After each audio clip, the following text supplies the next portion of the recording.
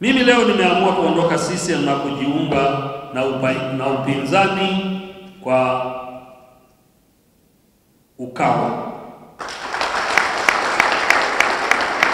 Fredrick Sumaye, mmoja wa viongozi wanaotajwa kuwa na heshima kubwa nchini, ambaye ametumikia nafasi ya waziri mkuu kwa kipindi cha miaka kumi, amesema ametoka CCM kwa lengo la kuongeza nguvu upinzani ili kuwa na chama mbadala ya chama tawala, huku akisisitiza kuwa kuporomoka kwa kura za Rais Kikwete mwaka 2010 ni ishara mbaya kwa chama hicho tawala kwa mwaka 2015.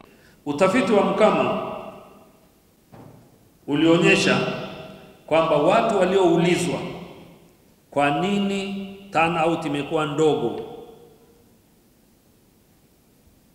walijibu kama ifuatavyo, ikiwa ni pamoja na baadhi ya viongozi wa CCM wa ngazi za chini walisema, shukuruni Mungu hatukwenda kupiga kura, kwa sababu kama tungelikwenda kupiga kura tusingeliwachagua. Na wakatoa tahadhari, kama hamtabadilika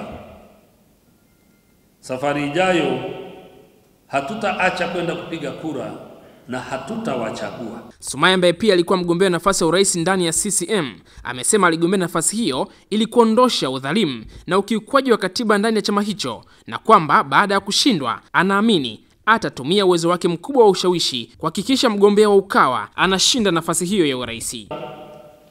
Mawazo ya kudhani kwamba nje ya CCM hakuna maisha ya siasa yamepitwa na wakati.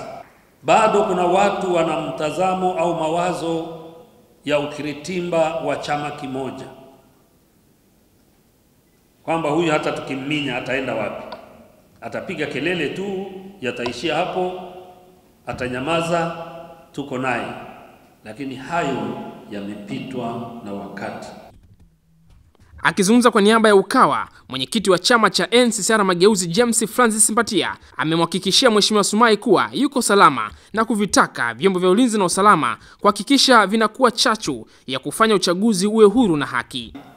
Tunaamini alichosema Mheshimiwa Sumai, wakuu wa wilaya na wakuu wa mikoa hawatapata hawata nafasi au hawatajiingiza na kamati zao za ulinzi na usalama kwenye mchakato huu wa uchaguzi. Wao sio sehemu ya Tume ya Taifa ya Uchaguzi, ili uchaguzi uweze kuwa huru na tuone haki ikitendeka, ili amani ya taifa letu iwepo.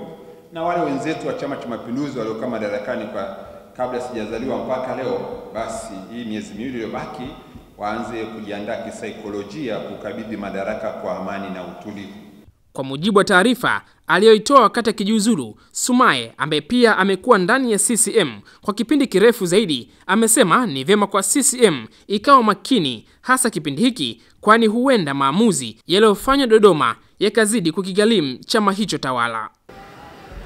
Julai 28 mwaka huu katika hoteli hii hii ya Bahari Beach Dar es Salaam, historia katika siasa za Tanzania iliandikwa baada ya waziri mkuu mstaafu Edward Lowassa kuiacha CCM rasmi na kujiunga na chama cha demokrasia na maendeleo Chadema. Lakini pia uh, siku 24 baadaye waziri mkuu katika serikali ya awamu ya tatu aliyedumu katika takriban miaka kumi uh, Frederick Sumaye pia ametumia ukumbi huu huu wa Bahari Beach kuiaga CCM. Amefanya haya wakati tayari Tume ya Taifa ya Uchaguzi imekwisha kupuliza kipenga cha kampeni za uchaguzi mwaka 2015. Wanasema wao tukutane Oktoba 25 mwaka huu, ni uchaguzi mkuu mwaka 2015. Kutoka Bahari Beach, Dar es Salaam, Spencer Lamek, ITV.